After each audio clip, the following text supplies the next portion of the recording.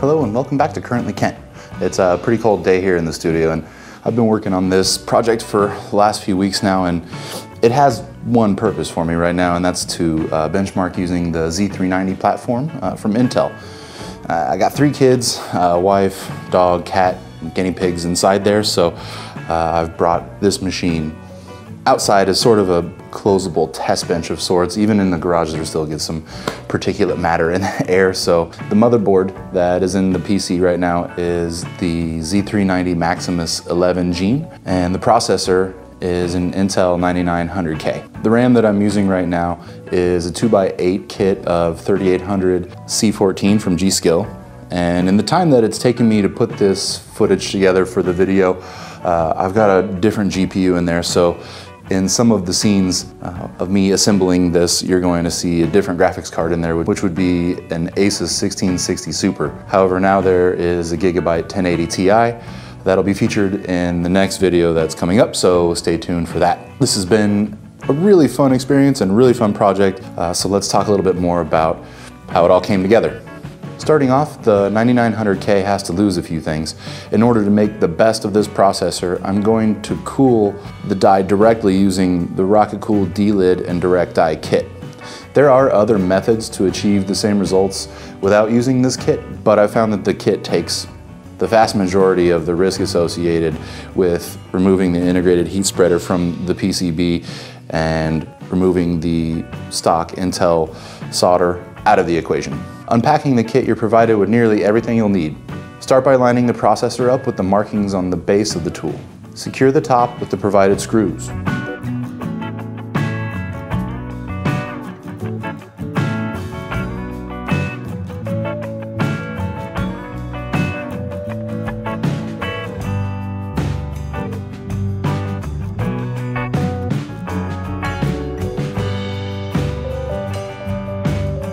Using the larger Allen key, begin tightening the screw to allow the pusher to loosen the integrated heat spreader from the PCB of the CPU.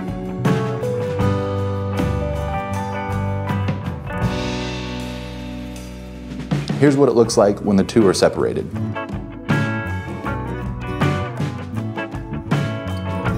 Next up, it's time to clean the surfaces. I started with removing the adhesive and you can see it there. It's the black ring that goes around the PCB. You'll want to use something hard enough to remove the adhesive, but soft enough to not scratch the PCB. And what I use here was a Dick's Sporting Goods gift card, and it seemed to do the job pretty well. After that, the solder needs to come off. Included in the Rockit Cool kit is some Quicksilver. They go over how to do this in the tutorial and can be found on their website.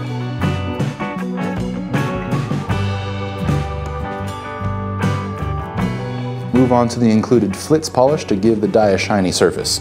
A small amount of the polish goes a really long way. In fact, what's included with the kit is probably enough to do about 10 CPUs.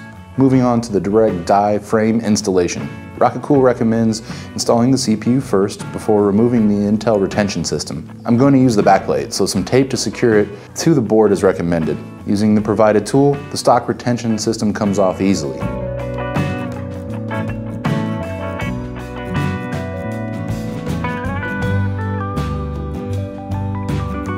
Now the direct die frame goes on using the same tool that removed the Intel bracket.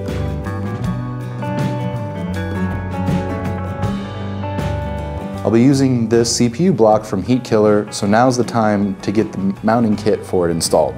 When I opened the package, I was really happy to see that they went with this spring-style mounting system because it takes a bit of the mounting pressure guessing game out of the equation. You just tighten the nuts from the kit until they stop. Here comes the liquid metal part. Make sure to thoroughly clean the surfaces before application with isopropyl alcohol. A thin, even layer works just fine here. You'll also want to get some of the liquid metal on the cooler surface as well. After that, the block goes on. And here we can take a look at it all before it goes inside the case.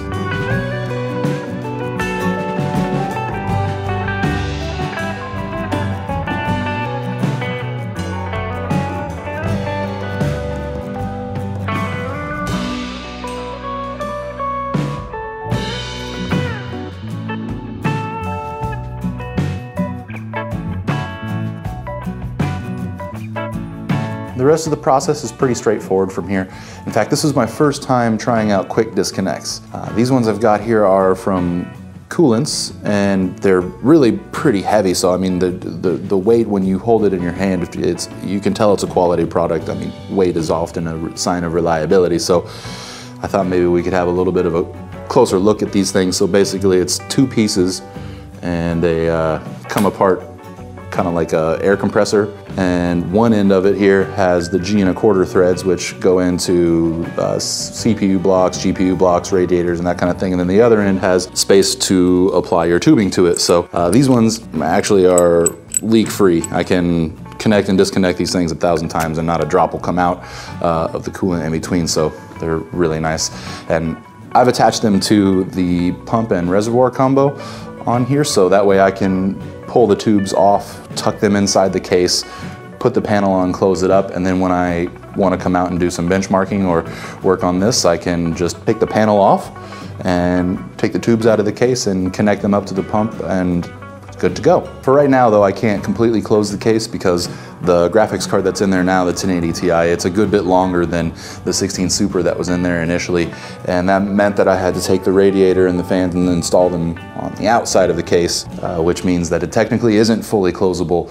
That'll actually be sorted out in the video that's coming up next. So we'll see if I can get it back inside the case and have this thing be closable again. Taking advantage of the colder ambient temps during our winter here in Southern California has been pretty cool for overclocking. I've even managed to get a stripped version of Windows from a friend, so shout out to Yaki from Discord.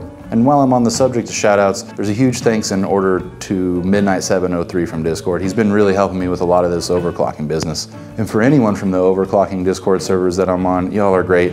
I really appreciate all your support through the last year and a half or so of learning how to overclock and work on computers and stuff. So thank you all for tuning in and we'll see you next time.